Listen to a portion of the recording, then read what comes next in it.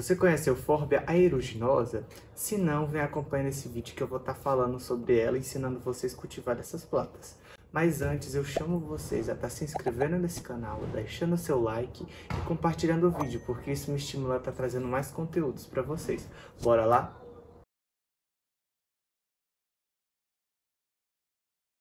Bem, gente, essa plantinha aqui, linda, maravilhosa, perfeita, é a Euphorbia aeruginosa, tá? Ela é uma planta que pertence à família das euforbiáceas, tá?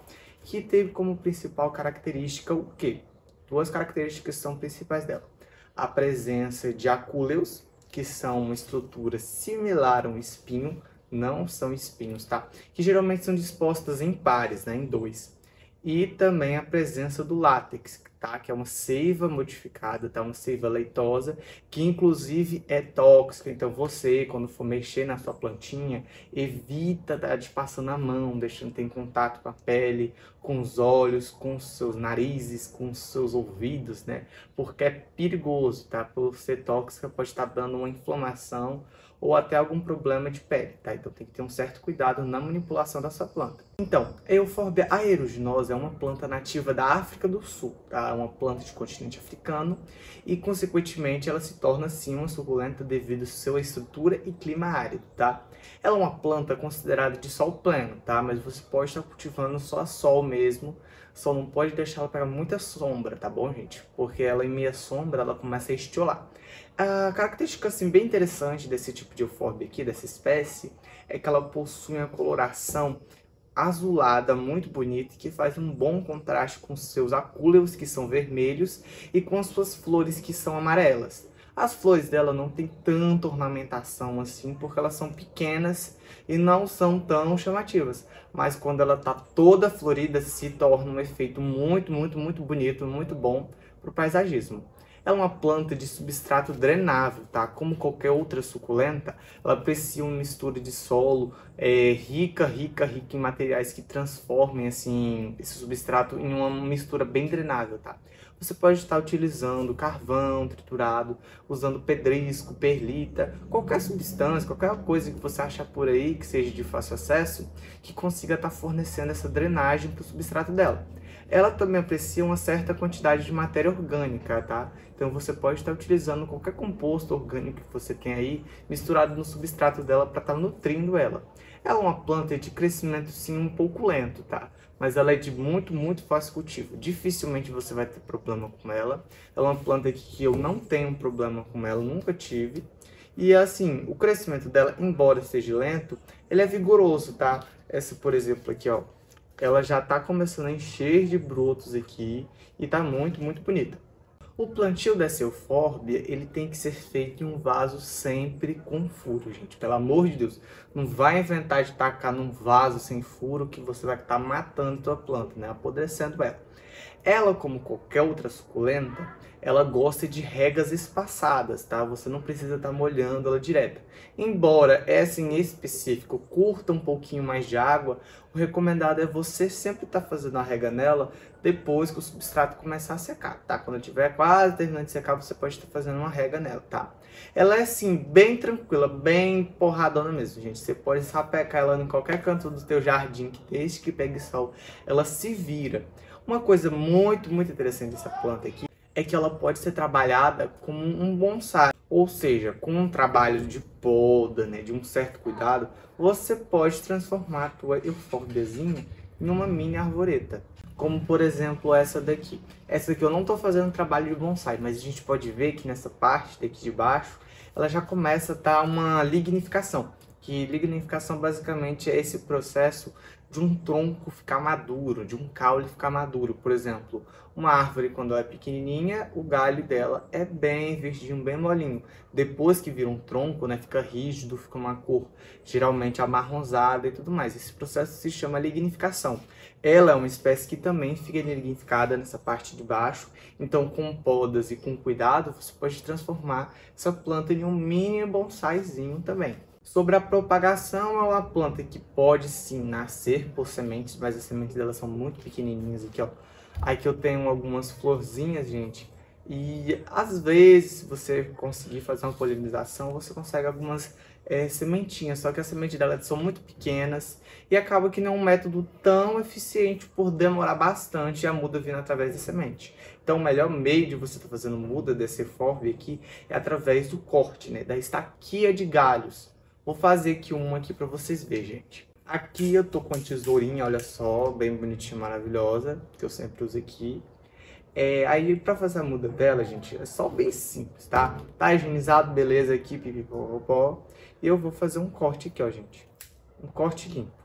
Você quiser estar tá utilizando uma faca, você pode, tá? Porque a tesoura, ela dá uma mastigadinha. Mas essa planta aqui, ela é tão de boa, tão de boa, que ela nem sofre tanto. E que nem eu já disse pra vocês, gente, olha só. Ela escorre a seiva assim, gente, ó. Esse aqui é o látex. Tem que ter muito cuidado com a manipulação dela. Porque além dos acúleos que pode te espetar, ainda tem esse látexzinho aqui. Eu vou estar tá fazendo aqui, ó, uma poda nela. Geralmente, sim, cortes diagonais, tá? Para se caso acumular um pouquinho de água, né? Não ter problema de apodrecimento. Quando é o corte é feito na diagonal, dificilmente ele vai juntar muita água ao ponto de conseguir estar tá apodrecendo a planta. Então, assim, o melhor meio de cortar elas assim é tudo na diagonal.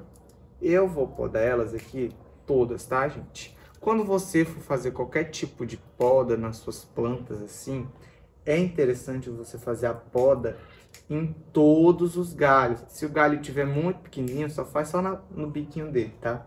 Por quê? Quando você faz a poda, né, você elimina o meristema apical, que é a gema, né? O meristema apical, ele tem uma dominância sobre as gemas laterais, sobre todas as gemas. Ele é o mais forte. Então, entre crescer para as gemas laterais, a planta prefere crescer por apical em vez do lateral. Então, quando você corta a planta e deixa um, uma geminha, né, um galinho só, esse crescimento que seria para vir uma nova brotação, em vez de ser dividido, melhor distribuído, vai focar só naquela gema principal. E acaba que não vai ter um, uma, uma brotação com tanto efeito, não vai ter tantos brotos. Então, para evitar que tenha esse desvio de preferência na tua planta, é interessante você estar tá fazendo assim, toda a poda de todos os galhos, né? Ó, por exemplo, essa daqui, ó, podei todos os galhos aqui, tudo bonitinho. E agora o brotamento dela vai vir muito, muito legal. Agora, essas aqui, gente, o que, que eu faço? Estão muito grandes, né? Se você quiser plantar assim, você já pode plantar desse tamanho. Mas eu prefiro eu fazer uma podinha assim, ó. Eu costumo cortar assim, mais ou menos no tamanho de um dedo e plantar elas assim, tá? Lembrando, não pode plantar de ponta cabeça, tá? Eu vou guardar elas do jeito certinho, com a ponteira para cima, porque se você plantar ela de cabeça para baixo pode dar problema. Aí depois que você... Ah, me furei. depois que você planta, é, cortar ela, você não planta em seguida, tá? Você espera ela cicatrizar. Aí varia de clima para clima. Tem lugar que cicatriza em três dias, tem lugar que cicatriza em seis. Varia muito e dá umidade. Se tiver muita umidade no seu ar aí, na sua época do ano, na sua estação, é recomendado deixar mais dias ainda, tá? Sempre deixando ele cicatrizar em lugar iluminado, é, bem arejado, sem muita umidade, tá? Bem sequinho que aí depois que você deixar cicatrizado, você já pode estar tá fazendo um plantio em um substrato drenável, tá bom? E antes dela soltar as raizinhas, não é legal você deixar muita água, tá? As regas dela, enquanto não tem raiz, não tem que regar muito não, tá? Se ela não tem raiz, não tem o que aproveitar. Bem, gente, depois que eu corto aqui, pelo menos no meu cultivo, eu noto que na minha região tá mais certo quando você utiliza essa técnica aqui, ó. Se pego um potinho 11, né? Pode ser o 6 também, mas aqui já que é vários galinhos, eu uso o 11, que cabe mais. Ó, eu pego elas aqui, ó, tudinho, com muito cuidado, vou amontoando aqui tudinho, ó. Uma do lado da outra. E eu coloco aqui dentro, ó. Aqui você tem que sambalhar muito, tá, gente? Porque os acúleos dela, né, fura a gente, então tem que ter um certo cuidado, que é uma luta de cabo de guerra. Aí eu deixo aqui, coloco aqui no meio das outras, deixo ela no cantinho dela, que aí depois que ela cicatriza, inclusive, pode até começar a enraizar aqui, sem nada. Por quê? O escuro, no caso das suculentas crassuláceas, eles estimulam o enraizamento. Por exemplo, debaixo da terra é escuro, não tem contato com iluminação, aonde a gema vai acordar para soltar raízes. Se ela ficar no claro, a tendência dela é não soltar raiz, né? Pode acontecer? Pode, mas geralmente a suculenta entende que o que? Quando ela está próxima do solo, no escuro, é próximo do substrato, ela solta a raiz, entendeu? Então nesse meio aqui, ser bem seguro, porque se você colocar lá na terra, no substrato, é, sem raízes, você pode até apodrecer ela, né? Porque fica muita umidade, muito acesso a bactérias, a fungos. E como ela não tem nenhuma raiz, ela não vai absorver tanta água. Então é necessário fazer esse processo assim. Uma característica do cultivo dela também, no quesito de regiões, é que ela se dá muito bem com regiões quentes, tá? Regiões frias, com geadas, muita chuva, muita umidade, ela costuma não se dar tão bem assim quanto seria um ambiente quente. Mas ela é uma planta extremamente resistente, então ela se dá bem também em vários climas. No caso desses que possuem alta umidade, né, muitas temperaturas baixas e tal, acaba que ela sofre um pouco mais, mas mesmo assim ela aguenta assim tranquilamente, tá? Para ela dar algum problema mesmo, realmente em temperaturas muito, muito abaixo, congeadas, e lugares que tenham uma umidade tão alta, tão alta, tão alta que qualquer cortezinho que você pode estar fazendo apodrece. Mas geralmente essas questões de ambiente com alta umidade não é muito comum aqui no Brasil. Vai mais para regiões assim muito muito pantanosas, né? onde geralmente o pessoal não costuma ter esse cultivo de suculento de carne. Mas aí, gostou de conhecer a Euphorbia aeruginosa? Você tem ela no seu cultivo?